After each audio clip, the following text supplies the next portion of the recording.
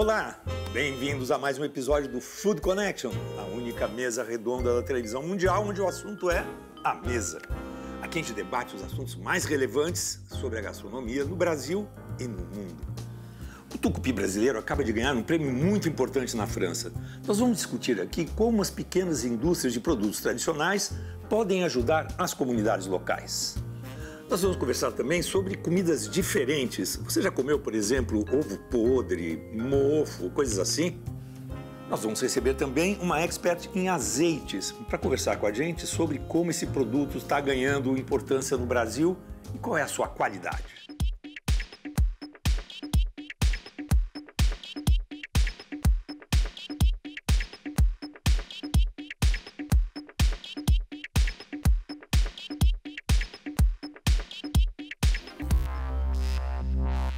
A nossa conversa, realizada como sempre nesse belo cenário do restaurante Fazano de São Paulo, eu conto com a indispensável presença da minha colega de bancada, a chefe Bel Coelho, do Cuia Café. Sempre um prazer. E como convidada especial, a chefe Elisa Fernandes, que foi a primeira vencedora do Masterchef. Depois disso foi para a Europa, fez o Cordon Bleu, trabalhou com feras como Alain Ducasse. E de volta ao Brasil, hoje comanda o seu restaurante Clo Wine Bar, aqui em São Paulo. Bem-vinda, Elisa. Obrigada, é um prazer estar aqui com vocês hoje. Muito, muito obrigada.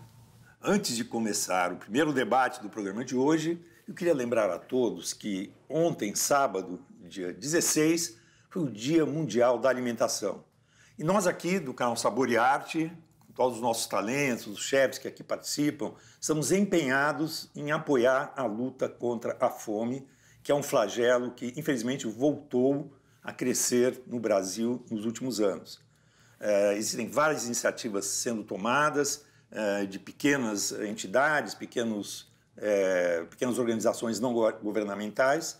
E aqui no Sabor e Arte, a gente está especialmente, além de apoiar todas essas iniciativas, estamos especialmente é, apoiando a Ação da Cidadania, que é a mais antiga ONG que luta contra a fome no Brasil e que está lançando hoje, dia 17, a sua campanha, que eles fazem anualmente, do Natal Sem Fome. Para falar sobre essa campanha, vamos ouvir o depoimento do Daniel Souza, que é o presidente do conselho dessa organização. De 2020 até agora, o Brasil Sem Fome distribuiu quase 30 mil toneladas, o que são alimentos para quase 11 milhões de pessoas. Mesmo assim, os números né, da tragédia que a gente está vivendo são assustadores. A gente tem hoje 27 milhões de pessoas abaixo da linha da pobreza, ou seja, vivendo com menos de 246 reais por mês e 125 milhões de brasileiros com algum grau de insegurança alimentar. A gente nunca viu uma situação tão grave. Por isso, para a gente, é tão importante a sua ajuda, né, o seu engajamento na campanha do Natal Sem Fome, que a gente vai lançar agora no dia 17 de outubro. A nossa meta é arrecadar 6 mil toneladas em todo o país. Isso dá comida para 2,4 milhões de pessoas. Né? Essas pessoas, pelo menos no Natal, poderão ter o que comer.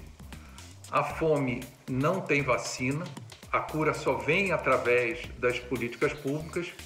Por isso, a gente pede que cada um dê asas à sua solidariedade né? e nos ajude, porque quem tem fome tem pressa e cada um precisa fazer a sua parte. Muito obrigado. Bom, vamos colaborar, né? Não só os chefes, mas os telespectadores e vocês, então, que são cozinheiras. Sociedade civil é fundamental também, né, nessa luta. É, e é um problema que está se agravando, né? Sim. Em 2014, o Brasil saiu do mapa da fome, que foi, virou um, um exemplo mundial de recuperação, né? de- Combate, né? É, É. é muito triste, né? E agora a gente está voltando para o fundo do poço. Sim. Não vamos deixar, né? Não, não pode. É, quando as políticas públicas não são suficientes, aí a gente tem que se organizar, né? Tem que, É. pelo menos, né, é, é, contribuir com essas organizações, né? Com trabalhos sérios.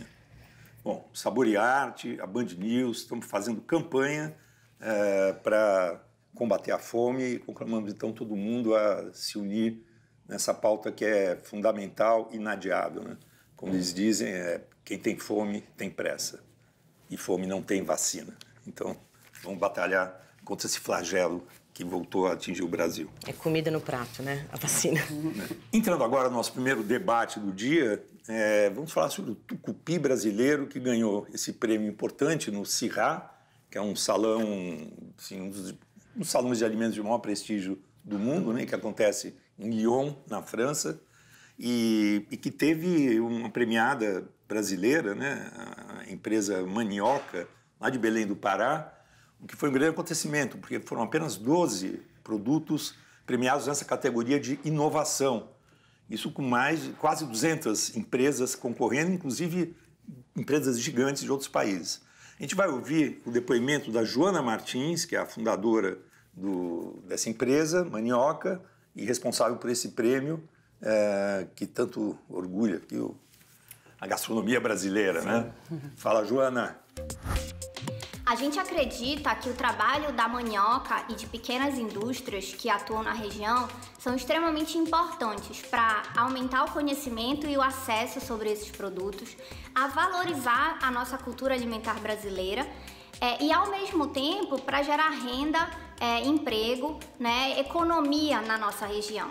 O trabalho que a gente faz na manioca, nós hoje incentivamos comunidades tradicionais a plantar mandioca de qualidade para poder processá-las e produzir o tucupi, colocando esse produto no mercado nacional. A partir do nosso trabalho, o brasileiro começa a conhecer esse ingrediente que é fantástico, mas muito pouco conhecido, e isso faz com que o nosso povo aqui da Amazônia é, tenha mais orgulho daquilo que é seu e, ao mesmo tempo, a gente gere desenvolvimento a partir do conhecimento tradicional. O papel da manhoca é conectar o mercado, gerar tecnologia e inovação a partir do conhecimento tradicional. É interessante a gente complementar essa, esse depoimento da Joana com é, um outro depoimento de um estudioso do assunto, que é o professor da Faculdade de Turismo da Universidade Federal do Paraná, Álvaro do Espírito Santo, que fala sobre essa modalidade de economia extrativista na região da Amazônia. O turismo sempre teve uma presença forte na economia da Amazônia.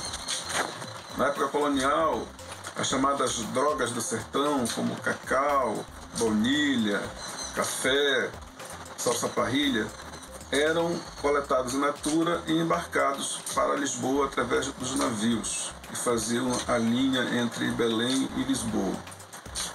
Hoje, com o novo espírito do tempo, a modernidade, com a presença de startups, já não se admite apenas trabalhar com esse modelo antigo. É necessário incorporar no processo econômico da Amazônia o uso dessas tecnologias.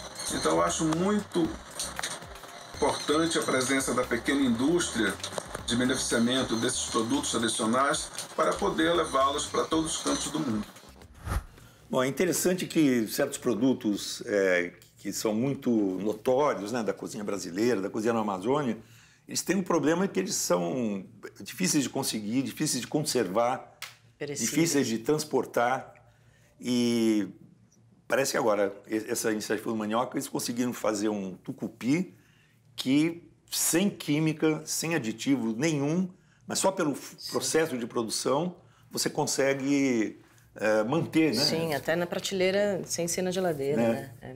E, então, ele, ele, é uma forma de aliar uma tecnologia mais moderna né? e, ao mesmo tempo, você manter a produção é, das comunidades originais, né? Sim. Vocês usam coisas da Amazônia nos restaurantes, por exemplo? Eu uso um produto que também adquiro da Manioca, que é o feijão manteiguinha de Santarém do, do, Pará, que é um produto que eu gosto bastante. Eu acho que o feijão, enfim, tá no Brasil inteiro, diferentes tipos de feijão. E o manteiguinha eu gosto bastante por ser um feijão que a gente pode comer como salada, é um produto mais fresco, mais delicado, hum. que eu acho que combina bastante com a minha cozinha. Inclusive, foi na minha volta é, da França para o Brasil que eu conheci alguns desses produtos trabalhando com a Bel no clandestino na época. Ela trabalhava também com tucupi, a farinha warini, entre outros produtos que, hum. que a gente ainda precisa conhecer mais. E eu acho que a manioca está super num caminho que a gente encontra vários produtos em supermercados não especializados e eu acho que eles facilitaram bastante o acesso. Então, eu acho bem, bem legal. É, essa é uma luta antiga, né? Uhum. Da, da, é, vai além né, de só de uma empresa, né? Eu acho que começou com o pai, né? De querer é, divulgar os produtos da Amazônia, que são maravilhosos, né? Foi para a Espanha. O Paulo Martins, né? Paulo que Martins. já morreu, mas que foi um pioneiro da divulgação, né? É, em 2004 ele me levou para Belém e aí eu já comecei a usar o tucupi nessa época e era, eu me lembro da, da logística, assim, era sempre congelado e sempre complexo. Às vezes vinha um paraense... Garrafa PET, É. né? É, então, é, é, tem que realmente é, ajudar essas comunidades né, a embalar, conservar, transportar da maneira mais segura, né, do ponto de vista sanitário, enfim. É, e realmente nunca, não saía de lá, né, eram consumidos lá. Mas eu acho que é um passo super importante. Inclusive para resgate da autoestima da cultura, né, de uma cultura, que é a cultura né, do Pará, a gastronômica do Pará, mais especificamente, que é é é, na verdade, usa-se tucupi na Amazônia inteira, mas é diferente, né? A maneira como se usa. É, e é uma forma de manter, as- quer dizer, de ter uma atividade produtiva e que renda dinheiro né, para essas comunidades sem que elas tenham que se desfazer, né, se, se descaracterizar e ser Sim, destruídas. sem extinguir a própria cultura, né? Sim, é engrandecedor para quem é de São Paulo também poder ter acesso a esses produtos e poder comprar e conhecer isso, porque afinal de contas a gente está falando de comida. A gente tem que consumir, conhecer, valorizar, escolher nossas preferências. E é assim que acho que a gente preserva a nossa cultura também. É, ainda que a gente está falando de um produto é, do norte, a gente consumir ele no sudeste é muito importante. Essa troca do Brasil para a gente valorizar, assim como a gente valoriza um, um brie no mercado, um, um queijo de Minas Gerais, um feijão do norte, um- enfim. Acho que esse é um, é um dever nosso também, né? Quanto consumidor. Sim. Aí nas imagens que, que, que a gente viu, aparecem assim, alguns trechos da produção desse tucupi. A gente vê que tem máquinas elétricas moendo, eh, ralando a mandioca, depois prensando e tal. E isso é interessante, porque eu já fui em vários pontos da Amazônia e vi as comunidades locais, indígenas, produzindo tucupi. O jeito é lindo, o jeito que eles É, produzem. no chão, elas ralando no Mas chão. as mulheres ficam lá no chão, depois para espremer a mandioca, Aquele- usa o tipiti. É, exato. O tipiti que é uma coisa genial, né? Um artefato incrível, é um, uma espécie de cilindro grande é, de tran, trançada, Uma né? De palha. uma palha trançada, onde você puxa de um lado, puxa do outro, vai esticando e vai é, Espremendo. espremendo para retirar o suco da, da mandioca que vai virar o, o- o tucupi. tucupi. Agora, é uma coisa muito rudimentar, né? Sim, é lindo ver. Agora, o interessante desse processo todo que a gente está conversando é você introduzir, quer dizer, Sim. assim como nas comunidades indígenas eles têm eletricidade, usam celular, etc. Claro. Pode usar eletricidade também para fazer o seu próprio produto de sempre, mas de uma forma mais eficiente, né, e que possa ser economicamente interessante para eles também, né? Sim. É, foi parecido com o trabalho que o Jerônimo fez também no Espírito Santo com mel de uruçu amarela, né? De também empoderar eh, comunidades indígenas eh, Guarani, Tupinambá e, e produzir esse mel, né? E tem uma outra, eh, um, um outro grande benefício que é manter floresta em pé. E, e- mas com a economia eh, andando, né? Eu acho que esse é o futuro, assim. É, sem desmatar, você consegue produzir, você consegue ser economicamente viável.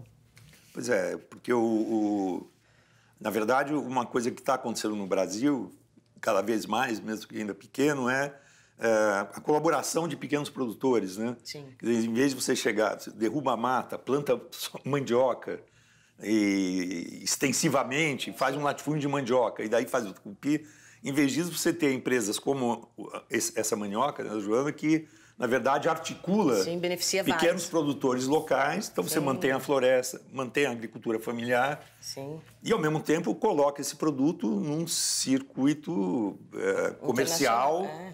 Maior, né? Tanto Sim. que eles estão até exportando já para fora do Sim, Brasil sim, é esse maravilhoso. tucupi, né? Então, isso E é... o tucupi tem uma coisa, assim, agora falando do tucupi em si, né, como produto, ele é muito maravilhoso, né? Meio fermentado, tem um umami forte, né? O umami é, uma, Uhum. é, um, é um aspecto do paladar que todo mundo busca, todos os chefes buscam muito. Ele tem tudo, É. acidez, é uma coisa sensacional, né? é. E, e tem muitas variedades também, né? Eu ia Sim. falar, o tucupi preto, aquele bem reduzido também é, muito interessante. Acho Aí que... traz um amargor, né?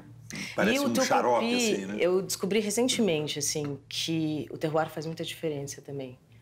Não de pior ou melhor, assim, também, de- né? Pode Uhum. ser melhor ou pior, mas de, de nuances. Assim, o de Santarém, o, o, Saulo me mandou um pouco nos últimos tempos e tal. É muito diferente. E, e em Manaus eu já tomei outros, e enfim, uhum. é, tem tem o terroir, tem a é. mão, né? Tem, enfim, tem tudo. Porque ele, na verdade, ele é beneficiado, né? Não é o, o suco que sai puro, né? Ele é temperado e tal. É, fermenta, tempera, coloca Sim. formiga, coloca pimenta. Sim, mas parece que na hora que ele pinga, ele já começou a fermentar, né? É. Porque a, mandioca é assim, é. você tipo, é. deixou duas horas, ela já tá... Ah, mesmo desidratar o cogumelo e a é uma super saída. Por que não? Perfeito. Sim. Eu uso nos meus caldos, faz muita diferença. Imagina o cogumelo, tanto que seria perecível para chegar aqui. Sim. Impossível. Não, e no fim é, é, sobre tecnologia mesmo, sobre investimento, porque vem framboesa da Califórnia, né? Que também é perecível, que também. Aspargo. Acho que é uma questão de investimento mesmo. Hum. Bom, a gente está falando tucupi, falou de cogumelo e anomami. A gente começou a falar de comidas estranhas que vão ser o tema na nossa conversa do próximo bloco do Food Connection. Aguarde.